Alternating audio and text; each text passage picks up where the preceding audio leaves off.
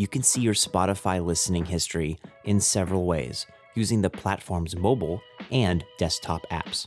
In its iPhone app, Spotify is currently testing a feature that lets you view months of listening history from the home page. Make sure your app is fully updated and then open the Spotify app and tap Home. Tap the icon that looks like a clock. This will open up your listening history page. You can scroll down to see the last month or so of your playlist history. You can also find a shorter version of your listening history through the Add Songs section. This can be done on both iPhone and Android devices. Start the Spotify app and tap Library. Open one of your playlists. If you have no playlists, tap Create Playlist.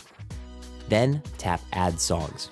On the Add Songs page, swipe to the left three times. You should land on the recently played list. This displays the last 100 or so tracks you've played on Spotify. Checking your listening history on a Mac or PC is much simpler.